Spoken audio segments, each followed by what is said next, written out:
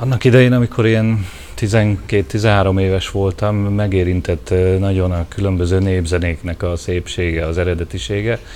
és folyton népzenét hallgattam, és kerestem is a népzenéket. Hát persze, ami abban az időben kicsit nehezebb volt, mint manapság, de azért elég sok népzenét sikerült megismernem. Viszont feltűnt egy idő után, hogy cigány népzenével nem találkozni és akkor még nem voltak lemezek, nem voltak még kaphatóak a boltokban, tehát elég nehéz volt ezt megszerezni, de engem nagyon érdekelt, hogy milyen lehet mégis a cigány népzene. És végül beleszaladtam egy dupla lemezbe, amin Vig Rudolfnak a gyűjtései voltak hallhatóak, ami ugyan elég száraz, mert hát tényleg csak adatközlők szerepeltek, de engem ez mégis nagyon megfogott. És akkor úgy éreztem, hogy én ezt, ezt jobban meg akarom ismerni. És addig-addig haladt a dolog, amíg rájöttem, hogy mégiscsak vannak együttesek, akik ilyen népzenei feldolgozásokat játszanak, akkoriban a Káiág vagy az Ándodrom együttes. Eljutottam a koncertekre, és összebarátkoztam a zenészekkel, akik nagyon sokat segítettek, befogadóak voltak, és, és így szép lassan a része, részévé váltam ennek is, illetve nekem is a részemé vált ez a kultúra. Arra egy picit várni kellett, hogy ebből zenekar legyen, ebből a próbálkozásból, amit én éreztem, és amit próbálkoztam a cigány zenét megismerni, előadni. Nagyon sokat ö, foglalkoztam vele, tehát igyekeztem megtanulni, elsajátítani, mert valamiére magaménak éreztem ezt a, ezt a kultúrát. És megtanultam a dalszövegeket, megtanultam rengeteg dalt, és végül is a katonaságnál dőlt el a, a további sorsa ennek a dolognak bennem. Ugyanis találkoztam a katonaságnál Balog Ferivel, akkor voltam ilyen 19-20 éves, aki a Rományi Róta együttest vezette már akkor is, és ő, vele is összebarátkoztunk, hallotta, hogy nem vagyok egészen járatlan ebben a dologban, és tetszett neki, ahogy, ahogy megközelítem zeneileg is, meg mindenféle értelemben ezt a dolgot, és onnantól fogva együtt zenéltünk 13 évig körülbelül a Rományi Rótával, később aztán majd a Románok Okálóval is, meg számtalan érdekes dolog következett ezután, de arra, hogy saját zenekarom legyen, arra egészen 2002-ig kellett várni. Hát, amikor mi elkezdtünk zenélni, akkor 10-11 évesek voltunk, de előtte azt hozzá kell tennem, hogy a zenei alapképzés az megvolt, mert én 7 évig jártam klasszikus gitározni, a bátyám is szintén, tehát azért otthon voltunk így ebben a, a zenei világban. A másik része pedig az, hogy mindig ugye mentünk anyuékkal a koncertekre, a próbákra, tehát egész kicsikorunk óta én is már még ilyen kicsi koromban is táncoltam a színpadon, tehát akkor még nem énekeltem, de teljesen az bennünk volt, hogy, hogy anyuék mennek, koncerteznek, zenélés van, próba van. Másik részről ugye a zenei háttér megvolt a klasszikus gitárnak köszönhetően. Aztán, amikor kicsit nagyobbak lettünk, olyan 10-11 évesek, akkor apuék úgy gondolták, hogy megpróbálják velünk ezt otthon is kicsit komolyabb szinten, hogy akkor hogy tudunk ehhez az egészhez viszonyulni, és és úgy gondolták, hogy, hogy tehetségesek vagyunk, tehát onnantól kezdve létezik így a Caravan Familia családi kis zenekarunk, de hát semmiképpen se kellett erőltetni ezt a szüleinknek. Ezt teljesen mondom, kicsikorunk óta bennünk volt, és mindig is akartuk, hogy, hogy milyen lehet ott a színpadon, és nekem, amikor táncoltam már, akkor is egy jó érzés volt, tehát mindig pozitív élmények voltak ezzel kapcsolatban, Úgyhogy nagyon, nagyon örültünk, mikor úgy gondolták, hogy mi is csatlakozhatunk. Családi zenekar vagyunk, igen, így nem kell azon gondolkodnunk, hogy hol legyenek a próbák, vagy próbatermet bérelni, hanem nagyon egyszerűen ezt mi otthon oldjuk meg, igen, így a nappaliban, vagy éppen ahol, ahol vagyunk, tehát bárkinek, amikor eszébe jut, hogy próbálni kéne, vagy csak felveszi a gitárt, akkor mindenki ott van a helyszínen, nem kell egyeztetni a tagokkal. Úgyhogy ez, ez is nagyon megkönnyíti így a dolgunkat. Hát igen, és a kezdetben úgy volt, hogy anyuék ugye megtanították velünk a repertoárt, és az elmúlt tíz év során egyre jobban hozzászoktunk ehhez, a, ehhez az életformához, és a zenekarba is jobban belevisszük most a saját ötleteinket a bátyámmal, mert még kezdetben azért, azért ez nem egészen így volt, de most már egészen, egészen sokat hozzáteszünk, úgy gondolom, a, a zenekar repertoárjához. A Karaván Familia repertoárjának a kialakulásában az nagy szerepet játszott, hogy én fiatal koromban erősen érdeklődtem a különféle népzenék iránt, és hamar rájöttem, hogy a, a cigány népzene az, az egy óriási terület, hiszen cigányok Európa szerte mindenhol élnek, így aztán a zenéjük is eléggé ágazó, és engem kezdettől fogva nagyon érdekelt, tehát nem csak a magyarországi része ennek a dolognak, hanem minden, ami a, a cigány zenéhez vagy a cigány kultúrához tartozik. És elkezdtem uh, intenzíven foglalkozni ezzel, hallgattam gyűjtéseket is, meg feldolgozásokat is, de igyekeztem megismerni a egész az Oroszországtól jóformán Spanyolországig mindent, ami cigányzene. Most aki ezzel egy picit is foglalkozik, az hamar rájön, hogy ez egy óriási terület zenei értelemben, tudományos értelemben, minden értelemben. Tehát Európában nagyon sok karakteres cigány stíl, zenei stílus van található. Hát, hogy csak a legnagyobbakat megemlítsem, például hát nyilván az andalusz flamenkónak egy jó része az cigány hagyományból alakult ki, és hát a cigányok azok, akik a legmagasabb szinten művelik, és jellegzetes cigány műfaját tették saját közösségeikben. Aztán, eh, ahogy jövünk vissza felé, egy picit kelet felé, Nyugat-Európába óriási eh, nagy eh, népszerűségnek örvend Django Reinhardt stílusa, ez az úgynevezett Manus Swing, vagy eh, Sinti Jazz, ami szintén egy nagyon karakteres cigány műfaj, annak ellenére, hogy egy jazz műfajról beszélünk. Ebben óriási részt lehet találni a cigány zenéből és a cigány hagyományokból, és hát rengeteg kiváló cigány előadó műveli a mai napig is. És hát természetesen, hogy jövünk Kelet-Európa felé és a Balkán felé, akkor rettentően színesé válik a, a paletta, ugyanis a balkáni cigány népzene az egy külön terület, megint csak rendkívül gazdag, a külvilág az leginkább csak a fúvós zenekarokon keresztül ismeri, pedig ennél egy jóval gazdagabb és jóval összetettebb dologról van szó,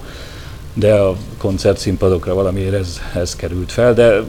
tehát jóval messzebb lehet menni ezekben a stílusokban, és hát természetesen Magyarországon is van egy jellegzetes stílus. Románia az egy önállóan, órákig lehetne beszélni a román cigány stílusokról, rendkívül gazdag és rendkívül szertágazó zenei hagyományok vannak nagyon értékes hagyományok, és hát most ha nagy ugrásokkal haladunk, akkor mondjuk az orosz cigány zenével fejezném be, ami, ami szintén egy nagyon régi hagyomány, nagyon karakteres, és mindaz, ami ezeket a műfajokat mégis valahogy összeköti, pedig sokszor első hallásra zeneileg nem állnak igazán közel egymáshoz, de érzelmileg mindenféleképpen, és van, egy, van valami közös atmoszférája ezeknek a zenéknek, ami ezekből nagyon szívesen táplálkozunk. Igyekszünk a hangszeres lehetőségeinket meghaladva megmutatni minél többet ebből a nagyon gazdag európai cigányzenei hagyományból, amit úgy oldunk meg, hogy bár a mi együttesünk elsősorban nyilván a vokális hagyományokra épül, és a hangszerek viszonylag kis szerepet játszanak, inkább csak kísérő szerepet, viszont el tudunk csipni hangulatokat ezekből a stílusokból, akár még a romániai lautárzenékből is, ami a egyik kedvencem, személyes kedvencem, és ezért felelhető több dalnál is az a fajta hangulat, ami ezeket jellemzi. Tehát igyekszünk a, a az egyszálgitár ellenére megszólaltatni minél több hangulatot, minél több jellegzetes cigány atmoszférát megmutatni ezekből a zenékből, mi elsősorban természetesen a dalokon keresztül. Tehát a mi műfajunk az valójában a dal. De azt még hozzá kell tenni, hogy a különböző cigányzenék mellett, amit most felsoroltál, még a funk és a blues is megjelenik a repertoárunkba, tehát apu szájharmonikázik, és a balkáni és spanyol egyéb cigányzenék mellett még ezt is próbáltuk így beleszőni a műsorunkba. Mindannyian nagyon sokféle zenét hallgatunk, és mindenki egy picit azt próbálja belevinni, ami az ő stílusát. Egy arab népdal is szerepel a legújabb albumunkon, amit Hát mindenki, mindenki a magáinak érez, de én különösen, mert én nagyon érdeklődöm az arab kultúra iránt, tehát a bátyámnak köszönhetően az ilyen R&B-sebb vonal is belekerült a, a műsorunkba, tehát mindenki azt hozza bele, azt teszi bele, amit a magáinak érez és szeretne, mert hát úgy lehet jól csinálni dalokat is, meg mindent, hogyha, hogyha azt tényleg szívvel csinálja az ember és, és szereti idén tíz éves a Karaván Família, és ezt szerettük volna méltó módon valahogy megörökíteni ezt az évfordulót, és erre a legjobb ötlet az volt, hogy csináljunk egy jubileumi CD-t. Ezt hála a támogatóinknak, meg a kiadónknak meg is tudtuk tenni, és uh, igyekeztünk megmutatni mindent uh, magunkból, illetve azt, hogy hol tartunk ezen az úton, amin haladunk, hol tart a zenekar, és hogy mennyire gazdag, mennyire befogadó, mennyire nyitott ez a, ez a cigányzene. Hogy ezt, ezt próbáltuk éreztetni azzal, hogy nagyon sokféle műfajban dolgozó vendégzenésszel dolgoztunk együtt. Ezt az új lemezt igazából évelején jelentette meg a Fonó, és az a jó hír, vagy az a, az a kellemes meglepetés ért bennünket májusban, hogy a lemezünket azt beválasztották a 20 legjobb világzenei lemez közé májusban, május hónapban. Ezzel meglepődtünk, mert korábban nem volt ilyen élményünk, de mindig jól esik az embernek egy kis visszajelzés, hiszen persze, hogy nagyon szeretünk zenélni, nagyon szeretjük a zenét, de azt is szeretnénk, hogy, hogy célba érjenek a dalaink, tehát elérjék az embereket, és elérjenek valamilyen hatást. Tehát ez is ennek a része volt. A közönségünk az nagyon vegyes, tehát mind cigányok és mind nem cigányok is szoktak részt venni a koncerteken, ugyanúgy korra és nem levaló tekintet nélkül. Tehát azt kell, hogy mondjam, hogy a cigányok körében is nagyon kedvelt az együttesünket, abból is látszik, hogy több cigányfesztiválra is meg szoktak hívni. Ezek közül többek, több helyen voltunk már ilyen nemzetközi cigányfesztiválokon, ami azért is jó, mert akkor más ország cigányzenészeivel is találkozhatunk. És amellett számtalan helyen zenélünk, ahol, ahol nem cigányok vannak, és ők hívnak meg, tehát Igazából a zenénk az mindenkinél, mindenkinél célba ér, mert mindenki tudja élvezni, és olyankor talán elfelejtik azokat a negatív sztereotípiákat is, amik így általában eszükbe szoktak jutni az embereknek így a, a cigányokról. Tehát ezt is próbáljuk egy kicsit a, a zenénkkel elérni, hogy közelebb hozzuk az embereket egymáshoz. A zenekar mellett én egyetemre járok, és a bátyám is, tehát mindenkinek megvan persze a saját kis privát szférája, de ezt nagyon jól össze tudjuk egyeztetni a zenekarral, mert hát nyilván a koncertek általában este vannak, vagy ha fesztiválok, akkor hétvégén, tehát ez, ez, ez soha nem is, nem is okozott problémát, hogy ezt egyeztessük, ezt a két dolgot. Én úgy tervezem, hát a bátyám nevében nem tudok beszélni, de hogy a zene az mindenképp az első lesz, és a zenekar is, de hát amellett nyilván én szeretnék tovább tanulni, amit, amit most is folytatok, és abban, abban elhelyezkedni, abban a szakmában. Aki ismeri a Caravan Familia lemezeit, hát most három lemezünk van, az viszonylag jól tudja követni azt az utat, amin, amin próbálunk járni, haladni. Tehát nyilván, mint minden zenekar, mi is megtaláltuk a saját világunkat, vagy arra törekedtünk kezdetektől fogva, hogy megtaláljuk, ez sikerült is, és nyilván kialakítottunk egy csak ránk jellemző stílust. Ez érezhető a három lemezből, hogy merre tartunk. Abszolút ez a további irányvonal is. Tehát mindenféleképpen megmaradni a cigány gyökereknél, hiszen nekünk a zenéinknek a 90%-a az létező dallam, létező cigány dallam. Valamelyik ország cigány közösségének a, a kulturális örökségét képezi, hogy szépen fogalmazzak, és ezeket dolgozzuk fel. Továbbra is ebből szeretnénk kiindulni, hiszen annyira gazdag zenei kultúráról beszélünk,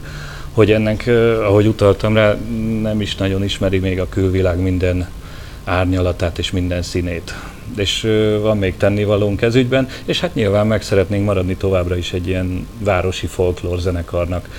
aki, aki szívesen találkozik más zenei hatásokkal is, de, de őrzi a saját gyökereit. Mi itt élünk Budapesten, együtt lélegzünk a várossal, nagyon szeretjük,